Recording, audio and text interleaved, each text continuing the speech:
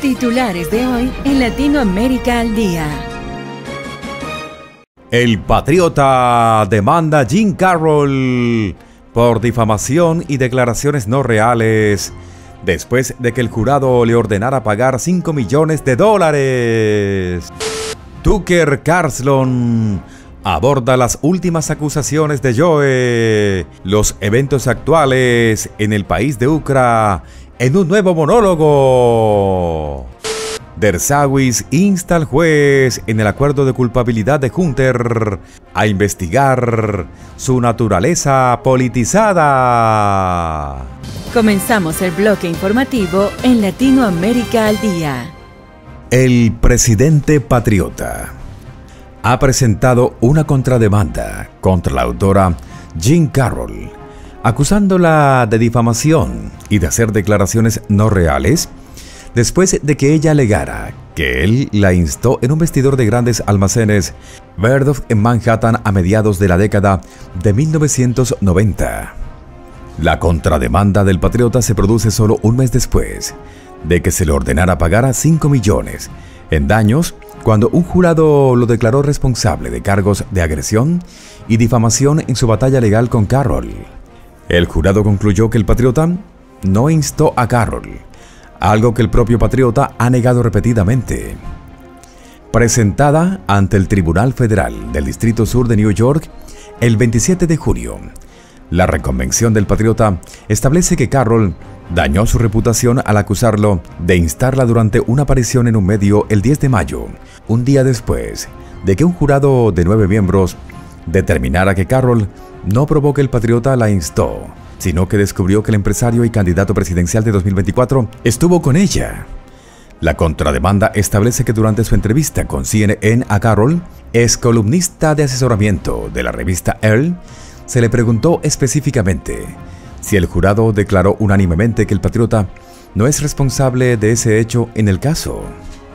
En respuesta a esa consulta específica, el demandado en contrademanda hizo caso omiso de la conclusión del jurado de que el contrademandante no la instó y respondió, oh sí, lo hizo, oh sí, lo hizo, dice la contrademanda.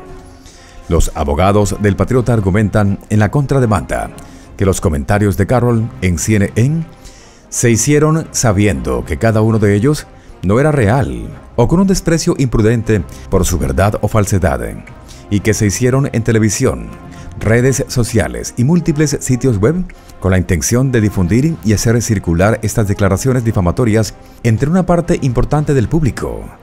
Lo que el demandado de la contrademanda hizo un daño significativo a la reputación del patriota.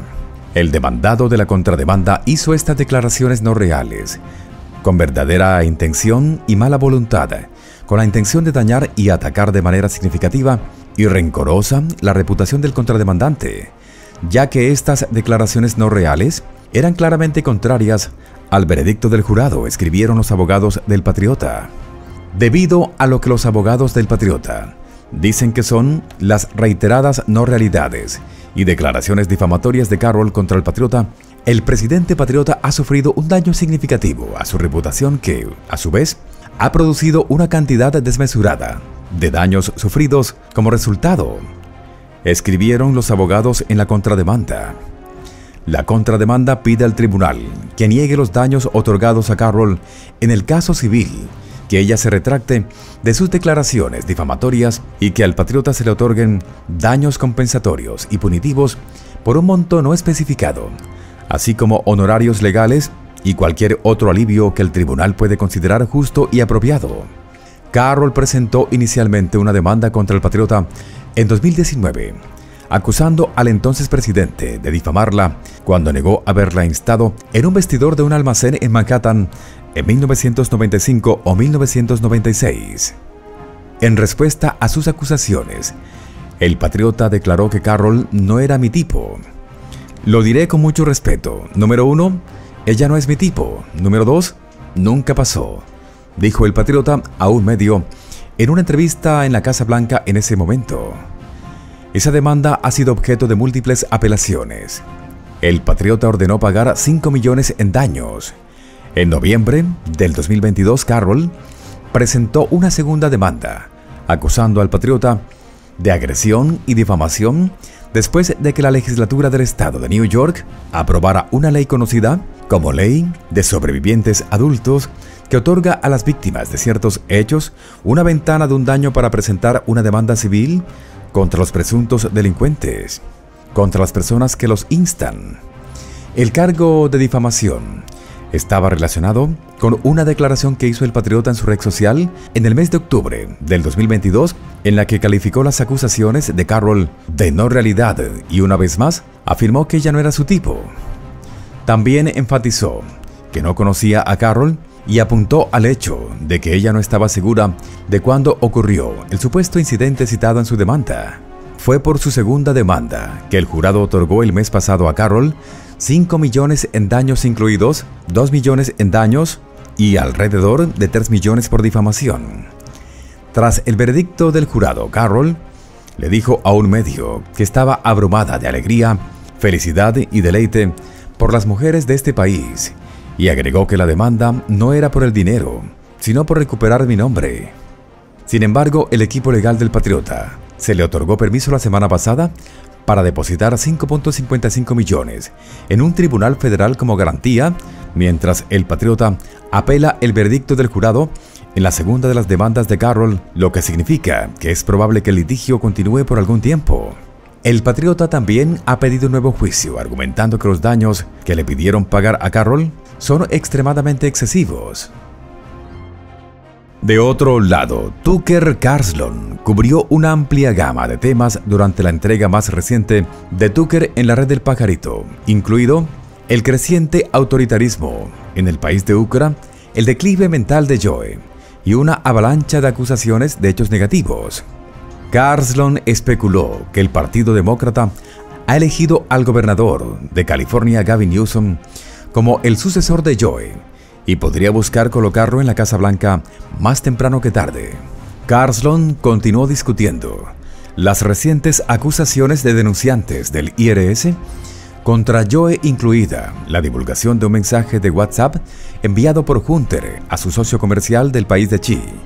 La semana pasada, un denunciante produjo mensajes de WhatsApp de Hunter que prueban que al menos su padre sabía sobre sus negocios y probablemente participó en ellas, dijo Carlson, antes de citar el mensaje en el que Hunter exigió pagos para no instar a su socio de negocios. Hunter notó que su padre estaba en la habitación. Por mucho que se haya informado sobre esta familia los últimos años, esta fue la prueba irrefutable. Ahí está, ahí mismo, en el mensaje. Eso hubiera sido suficiente para paralizar a un presidente normal. Habría sido más que suficiente para evitar que un presidente normal volviera a postularse para el cargo, continuó Carlson. Pero no tuvo ningún efecto en Joe. Carlson continuó destacando el rápido envejecimiento de Joe y predijo que el Partido Demócrata giraría hacia el gobernador de California, Gavin Newsom, más temprano que tarde. De otro lado, si es escéptico sobre el argumento de que el acuerdo de culpabilidad de Hunter es un asunto de rutina, entonces no está solo. Una autoridad legal eminente como Alan Dersawis también tiene preguntas y cree que el juez del caso debería investigar un poco más antes de decidir qué hacer con el acuerdo de culpabilidad.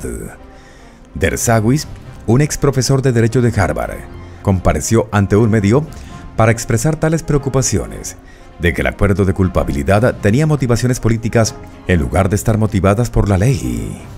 Dersawis dijo, el juez que está sentenciando a Hunter y que tiene que aprobar el acuerdo de culpabilidad de llamar a Garland debe llamar a Weiss, debe llamar a estos seis testigos quienes, según los denunciantes del IRS, pueden corroborar su afirmación de que hubo interferencia para conseguir el trato amoroso. Y debo decir, miren, los abogados de Hunter sabemos que quieren que el trato se lleve a cabo, pero soy juez, represento al pueblo de Estados Unidos de América. La ley establece que un juez no necesita aceptar un acuerdo de culpabilidad acordado por ambas partes si hay un problema aquí y si concluye, por ejemplo, que a Weiss se le negó la capacidad de investigar más allá de Delaware. Entonces, el trato se cancela, declaró Dersawis. Porque el trato probablemente pone fin a cualquier posibilidad de enjuiciamiento en el Distrito de Columbia o en Los Ángeles, y si se ejecutaron en violación de lo que Garland dijo que estarían disponibles para Weiss, entonces el trato se anula y hay que volver a la normalidad.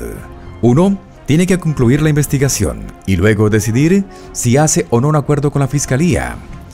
En este momento el juez no debería aceptar este acuerdo de culpabilidad sin escuchar a Garland, Weiss y los seis testigos, explicó Dersawis. El testimonio de los denunciantes del IRS fue que su investigación sobre Hunter fue curada por prejuicios políticos e interferencia desde arriba. Como lo expresó un denunciante, Gary Shapley, la Oficina del Fiscal Federal de Delaware, el Departamento de Impuestos de Justicia y el Departamento de Justicia brindaron un trato preferencial y conflictos de intereses no controlados en una investigación importante y de alto perfil del hijo de Joe Hunter. Un abogado constitucional y fiscal Robert Barnes tuiteó que nada sobre el acuerdo de culpabilidad de Hunter cumple con las costumbres o la política oficial del Departamento de Justicia y de hecho no cumple en cada etapa, como detallan los denunciantes en el informe revelado hoy. Barnes insistió aún más en su experiencia en ese campo legal. Él tuiteó como abogado de impuestos penales, durante casi un cuarto de siglo, confirmó cuán raro y extraordinario es el acuerdo de culpabilidad de Hunter. De hecho, el acuerdo no cumple la política oficial de impuestos del Departamento de Justicia, donde el Departamento de Justicia de Joe prohíbe a los fiscales incluso ofrecer este acuerdo a personas que hicieron mucho menos que Hunter. Curiosamente, aunque de manera predecible, los demócratas guardan silencio sobre su mantra favorito de que aquí nadie está por encima de la ley. Latinoamérica al día. Te conecta con la noticia.